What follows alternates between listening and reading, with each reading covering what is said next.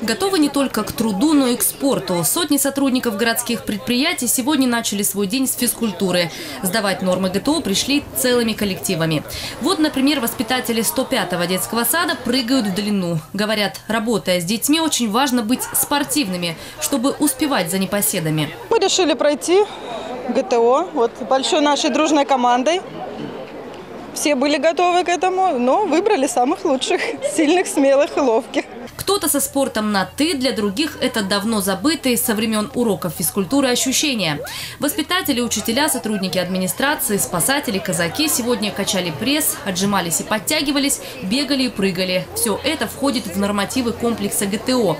Ну а, пожалуй, больше всего восторга вызвала стрельба.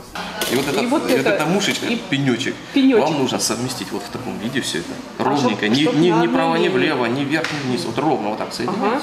Стреляли из электронного макета пневматической винтовки. Специальная мишень реагирует на виртуальные выстрелы. Далее датчики передают информацию на компьютер, который протоколирует результат. Сегодня в фестивале ГТО участвовали сочинцы в возрасте 18+. В их числе и те, кто давно на пенсии, но продолжает заниматься спортом. Я постоянно занимаюсь спортом. Я вообще шоссейник, велогонщик.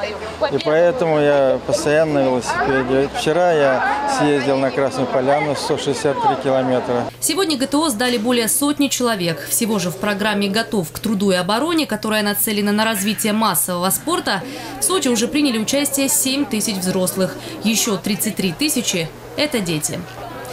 Ольга Десятого, Алексей Давыдов, телекомпания «ФКТ».